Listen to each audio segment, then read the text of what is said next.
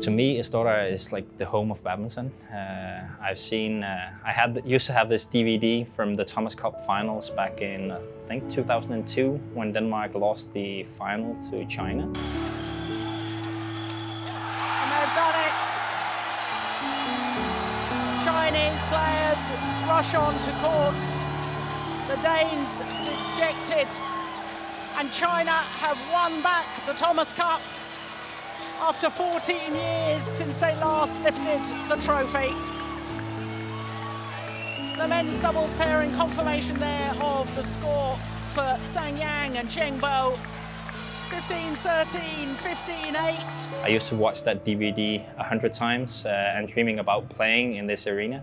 Um, it's just so special, it has so much history and every time I've come here, it's just completely lived up to the hype and the expectations. Um, yeah, so that the atmosphere is like none other place in the world. I honestly don't think the fans has changed. What, what has impressed me is that they haven't changed actually. It's been as extraordinary every single time. When I came here the first time to play in 2008, I was literally a nobody in this world. Uh, I even lost in the qualifying and I still felt this hear the same kind of support. Of course, there's a few more that's shouting now that I'm more known, uh, but you still feel the same kind of uh, like passion for the sport and passion for every single player. He's looking for good movement and a, and a big smash.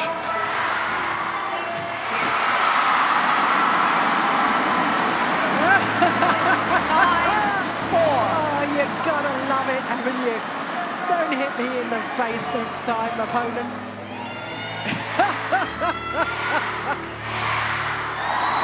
Played in great spirit.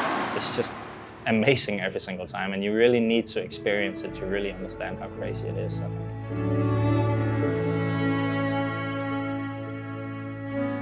So the Bali Boys, it's a fun story from uh, when we played the uh, Indonesia Open and Indonesia Masters in Bali.